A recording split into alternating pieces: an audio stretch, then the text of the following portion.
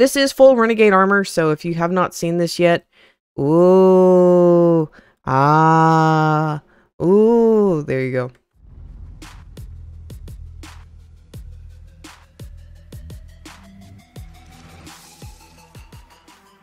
Hey, Lumilevians, it is Sister Guard here. Hopefully y'all are having a great day. I am having a great day. We're back today again in Venture Tales because we're going to be going over my class guide for Hammer.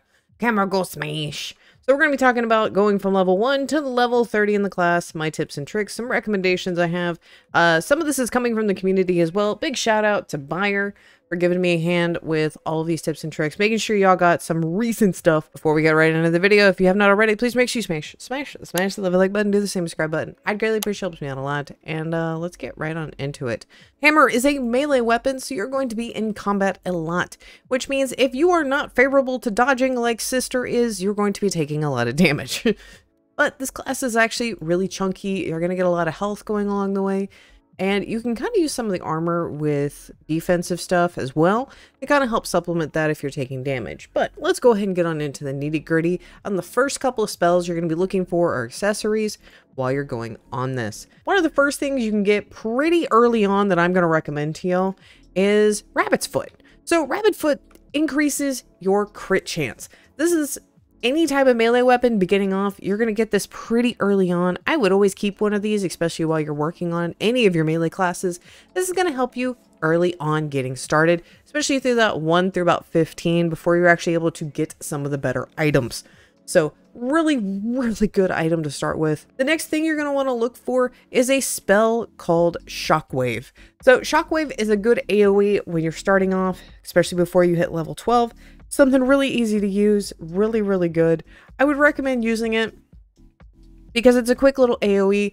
Hammer does do kind of an AoE when it swings, but it's a little bit slow sometimes. So that's kind of one that kind of branches out. You can kind of do a little bit of damage and you can kind of do it and zip away from the boss if you're waiting on your health to recharge. The next big thing to note, uh, the next spell you're really going to be looking for, there's actually only a few spells you're actually going to be looking for with this class, is uh, Battle Leap. Battle Leap is really, really cool because you fly up in the air and you come down thundering, and so you do damage in an AoE, and the spell is based off your weapon damage. So I have just a green version of this, which this can be upgraded. Uh, I think it starts as a common, and I have it as an uncommon right now. It scales more for wielding one-handed weapons, but it still works really well for hammer, especially early on until you can get some of the other spells, things like that. Now, some people will say getting hand wraps at level 10 is also recommended, but because hammer is so slow, uh, I wouldn't really recommend it. Just, but that is, this is one of those classes that when you start having preference, if you want to go more of a defensive build, you can. Just kind of keep that in mind that, yeah, it's a little more, eh, you also can get Charm of Kindness at level 12 if that's something you really want to use. But again, these are just kind of general recommendations. You don't have to use them, guys. These are not like really big required spells. These are not things that are really going to help you too much. This is more of a personal preference on this. Some of these classes is going to be a lot of personal preference on some stuff. Uh, some stuff is going to be a hard, you need this now now, the next big thing when we start hitting level 20 and level 19. So at level 19, you get an ability called Burning Blood. So you can use this. I would be very, very wary of using it though, and here's my reason why. Because it eats your health. It takes 25% of your max health, and then you do another 50% of your health, but you get increased attack speed, you get leech life, you get weapon damage. This would be more better for axe and sword, but if this is something that you feel is helpful to you, be my guest. However, I'm not like, ooh, you need this now. At level 20, they also have what's called a combat roll, which if you are really good at rolling, but you're not quite getting to where you need to be, if this is something you want to be able to equip, you're more than welcome to. We do have the base dodge, also, by this point in the game, guys, if you have gotten Hammer up to level 15, uh, you're going to get an ability called Built, which you now have plus 30 max health. So this is actually going to increase your max health for your entire account. So it's going to give you a little bit. This is actually going to be really helpful when you're starting working on other classes, especially in the beginning because we don't have a whole lot of health. Also, at level 19, you are going to get your first one that I would have to say this is like a really big accessory you want to grind for, and that is the Malefic Jar. So, it has an ability called Jar of Souls, which is slaying an enemy with a melee weapon harvests their soul, granting you 25% movement speed plus 6 weapon damage for 3.3 seconds. You can receive this buff up to two times. If you gain a third buff, the oldest buff is removed. So, and it does boost your damage. Mine's upgraded. Um, so I get 11% increase. So that, that's a lot of damage because y'all got to realize with this hammer, uh, let's see, I'm doing a thousand points right now. High end, high end. That is without me critting. So kind of keep that in mind. This is going to be, you are going to be very, very more crit heavy with this class because you're only going to get to hit once and you want to hit as hard and as frequent crits as you can manage. So that's kind of just something to kind of keep in mind. Now, the next big thing to note, if you can manage to get it, this is a mythical tier item. There is a accessory called Thunderstones, which is critically striking an enemy with a melee weapon, causes chain lightning, dealing 668 damage, which is that's your average weapon damage and your spell power, by the way, uh, to anything within the area. Basically, it's chain lightning. Uh, this is actually a really good one to use because it does increase your crit chance. So if you are going to be more crit focused, this is something to use. I actually have currently equipped everything you are going to want to use. So I will go over those here in a minute. But this is something else you can get at level 25. Now also at level 25, you are going to have unlocked Overwhelm. Overwhelm is super, super good because you stomp the ground, you deal a ton of damage, and you make everything vulnerable, which means they're going to get, they're going to take more damage, which is really good for you and really good for the rest of your party. So if you're working in a group, this is going to be a big tip. Now, I will say this right now, guys. Playing through the game already, I will have to admit, when I hit level 26, actually it was around level 24, I started having problems with this class. Uh, this is mostly just a personal thing, so I'm just sharing this with y'all. I started getting really slow. It was really hard for me to progress. I just kept dying. I was getting very frustrated. So I, I've made this in my general leveling guide video, if you start getting frustrating with a class, go play another class for a little bit. Try to get some gear, level that up to maybe get some passive perks for yourself because it'll kind of help you with everything else, especially if you get stuck on another class. So I did end up coming back and finishing this because I'm going to let y'all know right now. Uh, I actually got crossbow up to 30 because I wanted the 2% crit chance that Lucky gives you. So I'm just, I'm going to be frank, I didn't actually finish Hammer in that order.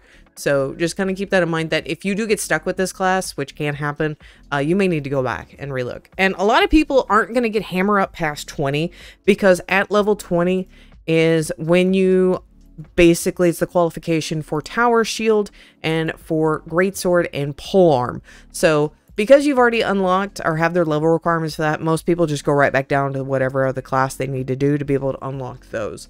So you may never get hammer up to 30 or it may be something later down the line when you have a ton of gear. So now final in-game gear we're going to go ahead and talk about. So you're going to get the level 24 hammer, which mine's very, very upgraded. So this is a super, super OP hammer. Okay, the reason why this is OP is because its base crit damage is doubled. It is doubled. It does a stupid amount of damage. So until you are able to get the level 30 hammer and kind of get it leveled up a little bit, your level 24 hammer is going to be your piece de resistance. It's going to do work for you. It's going to be amazing for you. So just kind of keep that in mind that yes, mine does significant. It does over 100 points more. And that's the reason why I'm using this one over say this one. But that is the only reason why is because it does more damage uh, long run. And this is an epic. This is already at mythic. This is going to take me forever to upgrade. I won't need this many for this one. So kind of keep that in mind that uh, between those two weapons, the level 26 weapon is a gray. You can just kind of bypass that. Uh, I would just use it as selling fodder. Now, our last couple of accessories we've already talked about. So, level 27, Weighted Pommel. It gives a crit chance, it gives increased melee damage, and it gives weapon damage. So, this is going to help you do more critical damage. So, once you get this before you get the level 30 hammer, I'm letting you know that Lucky Hit, the level 24 hammer, it's even more broken. So, this is something you want to try and pick up as many as you can. This is something to grind for. This is something you will want to grind for. Uh, I wish I had more because I already know this thing gets broken the further higher up it gets. I am I am looking forward to it. Like the next level up, it gets another 2% mainly crit damage, which is a lot. That is a lot. And finally, the last thing you're going to be looking for with this class is Phantom Plating. Uh, because this gives you burn resistance, and you're like, huh? Uh, there's a lot of things that do burn. I don't know if y'all were aware of this. Also, it has the ability Eternal Existence. So whenever you receive damage equal to 10% or more for your max health, gain a barrier. And this barrier scaled, of course, off of your um, max health, which you can adjust your max health with other abilities. Uh, you have 33% damage when the barrier persists. So as long as the barrier's up, you're doing a third more damage, which means my 1000 becomes 1300. So that's kind of nuts. This is a really good drop to get. I do believe it drops as a rare though. Hold on. Let's see. Yeah, it drops as a rare and uh yeah, there's the base stats for it. So that is that is my big tidbit. Um as far as armor goes, plebs, you have a few options. You have a few options. I can go ahead and give you all right now. So you can run and I would highly recommend for at least the armor, I would run the more melee or the crit, the crit version. Uh, the reason for this is you're going to want that crit chance. You're going to want all that crit chance in the world right there. That's going to be a big difference. The attack speed I'm not really looking forward to, but that crit chance. That crit chance for this class is going to be big, okay? Now for your helmet, you kind of have two options, and that's one of the things I absolutely love about this class. Um, you can run the melee one if you want. If you want to run the melee one, you are more than welcome to, okay? If you managed to get the defensive set, which I actually ironically haven't gotten the defensive drops away yet. I don't know why. Uh, but we can go ahead and look at the Ocean Samurai gear because this is the more defensive one because this gives the damage reduction, which that one's that one's big. When you start getting damage reduction of you know hundreds of points of damage, it kind of adds up. Uh, just you're gonna be looking at crit chance. That's that's kind of the biggest thing I can recommend with this class, guys. Crit chance, crit chance, crit chance, crit chance. This is full renegade armor, so if you have not seen this yet, Ooh. Ah.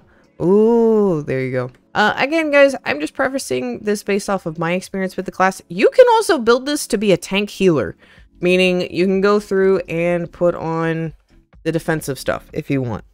That is entirely up to you. I'm giving you an offensive build based off of what I've been given recommendations from the community, what I played with, just kind of some other stuff like that. So, Plebs, if you have any other questions or if you've run Hammer up to 30 and you're like, oh yeah, it is really good. Here's my rec here. I have a different recommendation.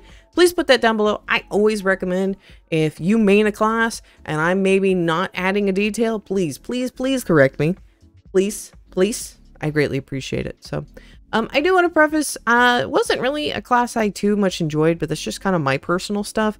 Uh, I mostly got it up because of Hammer's Fortify ability. So at level 30, you're going to get plus 5 defense globally. So this includes when you're starting off. This makes low-level grinding so much easier. I will already tell you this because um, I have gotten Dagger and Wand already up, which, guys, videos will be coming out uh, for those as well. I'm going to kind of stagger these videos every two days now. Uh, I should be able to get them up that quickly. So it may be a day or two after that for some of them, but that that defense low level because if I take off all this gear real quick, I still have five defense. And that's that is just big. That's just big. Labs, thank you for making it this part of the video. Hopefully you enjoyed it. Let me know your thoughts. Let me know if you're maining hammer. I want to know how many hammer mains we got out there. So I will see y'all next time. Boy!